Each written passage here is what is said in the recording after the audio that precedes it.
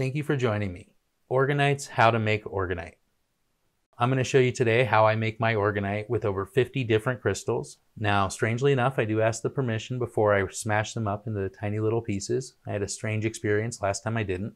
I put tons of selenite, usually a few different types, a few different types of shungite, turquoise, amethyst, lots of Payson diamonds, and 50 other crystals just to add those good frequencies in. Once I add those 50 crystals into the molds, I'll then be able to put them into the molds. Now, once I set up my molds, I will first off, safety first, I like to put on gloves. I usually use a very industrial strength glove so that I don't have to worry about anything. The disposal ones tend to be a little bit better for me, but you can definitely get ones that are non-disposable so you don't have to use it. Now the mask is probably the most important part. I always wear a high filtration mask that's designed to protect from all the chemicals from pouring resins.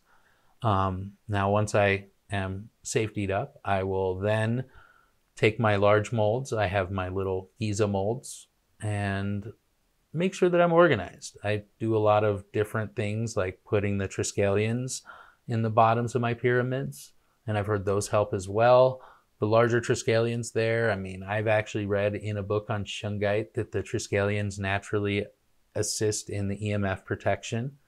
Um, I have big ones and little ones that I put in the pyramids. There's my quartz wrapped crystal with copper wire, and I'll put those in all my pyramids as well. For the larger pyramids, I do use uh, gold plated wire, and we'll add those into the pyramids. Now I put a blend, like I said, of 50 different crystals into all my pieces. So you can see that there. Just tiny little pieces of each crystal are added into every single piece. And I put them into all my molds and all my little tiny little things. So you can use, I mean, frogs, little tiny uh, baking dishes. I like to use the silicon ones because they pop out easier.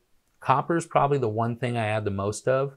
The finer the metal, the better. So the tin there is one of my favorites because of just how fine it is. It's almost like dust. But I don't really like the dust dust ones as much. I use aluminum flakes though, brass flakes. And I just kind of have fun with all the different layers. As I layer it up, I'll add different metals in so that it can add different appealing looks to each piece. And I just, like I said, find the finer the metals, the more effective the piece. And the more dense the metal, the more effective. Now, once I take that resin, I will add some hardener. Once I add that hardener, I'll have to quickly pour, and then about 20 to 30 minutes after I pour, I'll be able to add the crystals into the mix. And I usually like to leave the top of the pyramids clear so there's no metal in the top. So I'll usually have to wait a little bit for that first layer to harden. And then I'll add my 50 crystals in after I add the crystals and I just sort of have fun with it. There's not really any right or wrong way to make them, just the more metal, typically the more effective. So I'll just try to find a good balance of making them look pretty and making them have a lot of metal. And I'll actually, in the bigger pyramids, keep adding that 50 crystal blend all the way through the pyramids. So top to bottom, I mean, the big ones get tons of doses of the 50 crystal blend. Now, as you can see, I have a lot of fun with just different colors, pouring them into different things, adding different metals. And it's, it's more of a fun process. And then once I basically finish each layer, I'll add another layer in and then voila, it's all done. I know that's a lot easier to, to just watch me do that really quick.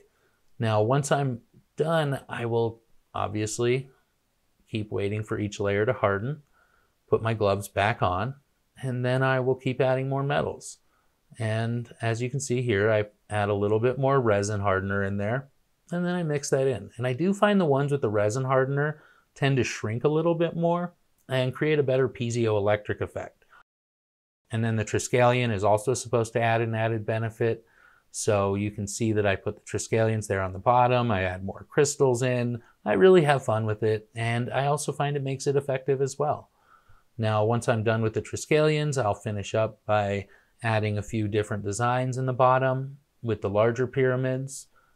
And then I'm all finished. I'll let them dry for a few hours. And once they're dry, I can pop them out of the molds. Like I said, the silicone molds tend to be a little easier. The Phi molds makes my uh, larger pyramids as well as my sacred geometry molds, and that's PHI molds on Etsy. There's all my metal shavings there. As you can see, I have quite a few different types of metal shavings that I can use. And I'll find those on eBay or scrap yards and recycled metal yards. And there's a lot of different ways to actually get free metals as well. Now there's some more of my molds from Phi Molds. Now, once I'm done, I'll let them sit there for a few hours and then I'll be able to unwrap the molds. As you can see, my pyramids are taped up. And then when I untape them, I'll sand them a little bit to get all the rough edges off. And you can find my really pretty ones online. I'm like, I have some really great one of a kind pieces on the website, orgoneknights.com. Thank you so much for watching.